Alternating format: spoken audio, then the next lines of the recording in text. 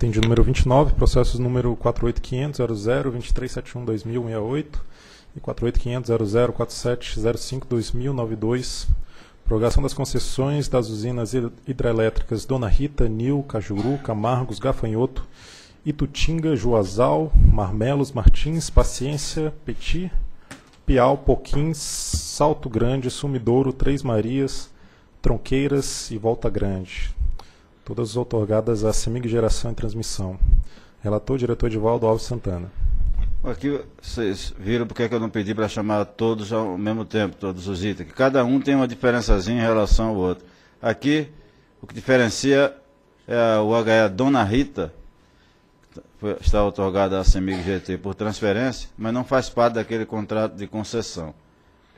Daí porque passo para o dispositivo, diante do exposto que quando processo aí, dos processos aí listados, voto pelo encaminhamento ao MME, da solicitação de prorrogação da concessão de todas as usinas, inclusive a Dona Rita, mas que deverá ser incorporada ao contrato de concessão, ou seja, a recomendação é que no novo contrato de concessão seja incorporada a usina Dona Rita, que ela foi otorgada por uma resolução, se eu não me engano, né? Ah, isso.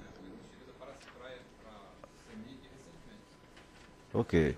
Então vai fazer parte do mesmo contrato de concessão se o Ministério assim julgar pertinente. É o voto. Em discussão, pera, não entendi. Quer dizer, a, esse, a CEMIG já pediu para a prorrogação dessas concessões. Né? Isso. Né? Só que nesse meio aí tinha uma que não era, não era Foi transferida para ela recentemente, com uma resolução nossa, e está recomendando incorporar no mesmo contrato. Ok. Em votação? E voto com o relator. Também voto com o relator. Também voto com o relator. De tudo então decidiu por solicitar a prorrogação dos prazos de concessões das hidrelétricas Dona Rita, que deve ser incorporada a esse contrato, a Anil, Cajuru, Camargo, Gafanhoto, Tutinha, Joaçal, Marmelos, Martins, Paciência, Petit, Piau, Poquim, Santo Grande, Sumidouro, Três Marias, Tronqueira e Volta Grande, requerida pela CEMIG Geração e Transmissão.